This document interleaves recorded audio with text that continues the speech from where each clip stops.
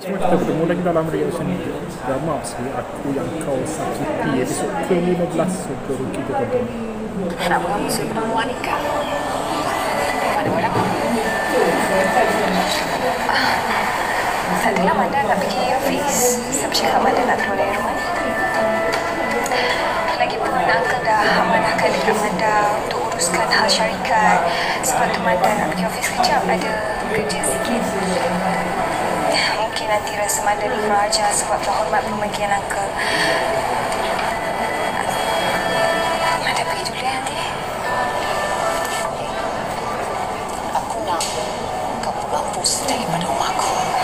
Jangan ambil tahu lagi hal dekat office. Kau hapuskan.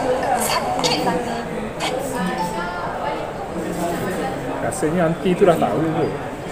Anti pun uh, kalau jadi sesiapa kalau jadi anti perempuan lah. Kalau jadi anti bila dia tahu suami dia uncle uh, tuan Zaki tu diganggu oleh Amanda diganggu oleh seseorang yang dia benda daripada kecil kot uh, seorang yang dia harap.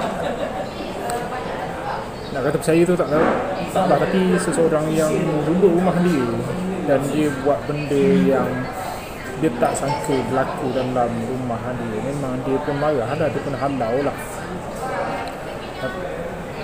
Uh, tapi itulah penonton kata muka badak betul si Amanda ni. Tak tahu malu kat. Dia tak tahu malu kat uh, anti dia. Dia macam tak ada rasa bersalah terhadap apa yang dah dia buat dekat uh, kat Tuan Zaki dekat keluarga Tuan Zaki tu makcik dia Bella kawan baik dia sendiri dia walaupun dah terkantoi dia macam dia macam apa dia macam sebelum ni macam dia dengan Raikal boyfriend dia sendiri pun dia berlakon dia buat macam-macam tak ada rasa bersalah. So macam saya rasa macam Amanda ni memang tak akan berubah lah. Dia memang akan terus buat-buat. Tak berdosa. Tengok sini ialah hari yang tadi dia macam kita tak nampak penyesalan di wajah Amanda tu dia akan teruskan rancangan dia tu. Kita tengok macam mana berjaya ke tak rancangan dia jumpa lagi sekian